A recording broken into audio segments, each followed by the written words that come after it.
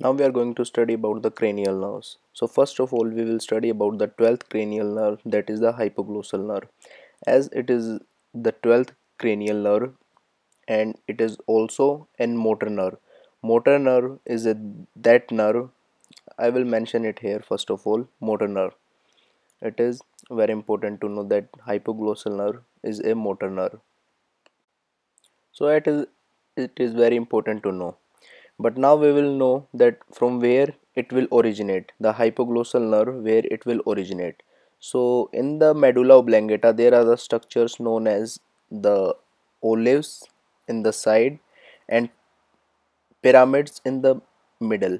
So it arises between the pyramid and the olives in the medulla oblongata.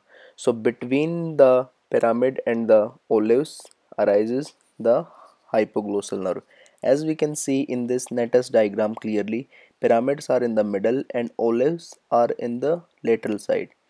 And in between them, we can see the hypoglossal nerve very easily. As now I have already written the path of the hypoglossal nerve from where it will originate and from where it will go to the effector organ. First of all, it will arises arises in the medulla oblongata as the hypoglossal nucleus or also known as somatic motor nucleus.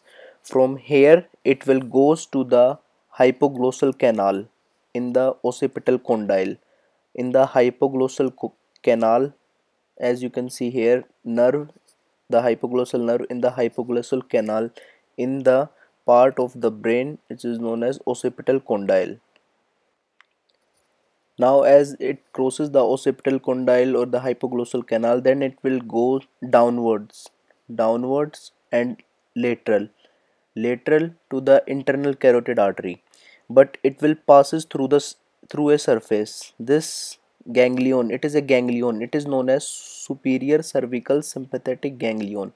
Superior cervical sympathetic ganglion. So it will passes laterally to the internal carotid artery that it is clearly described here in the red part that it will passes laterally to the internal carotid artery and which is a part of the common carotid artery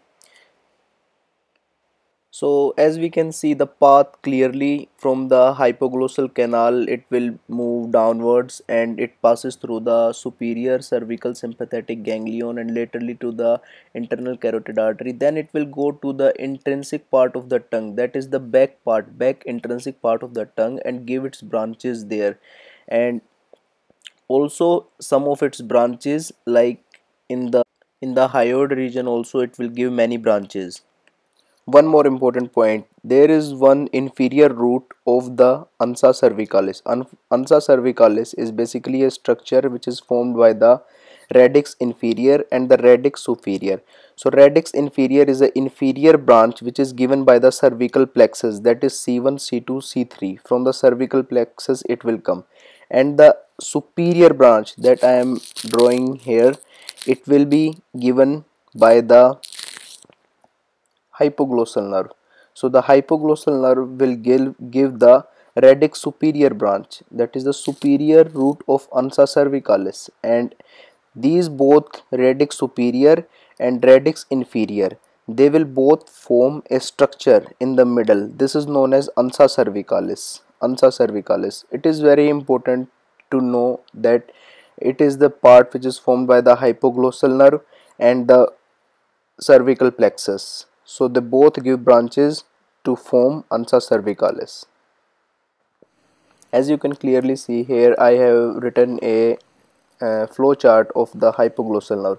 So first of all it arises from the somatic motor nucleus between the pyramid and olives in the medulla oblongata. Then it leaves the brain via hypoglossal canal goes downwards and laterally to the internal carotid artery. So it is very important to mention here then it is divided into various branches at the hypoglossus muscles. So we will talk about that branches. Like it will give some of its branches became part of the facial nerve running to orbicularis oris muscle. So it will give some branches that will become the part of the facial nerve and which will give branch to the orbicularis oris muscle. Second it will some branches that will enter the inferior part of the tongue and innervate their muscle. That is the intrinsic muscles of the tongue also i have already mentioned earlier one of its branches radix superior descends and join radix inferior that is from cervical plexus and both will form ansa cervicalis. These ansa cervi this ansa cervicalis will innervate the muscles under the hyoid bone and muscle geniohyoidus. That's all for the hypoglossal nerve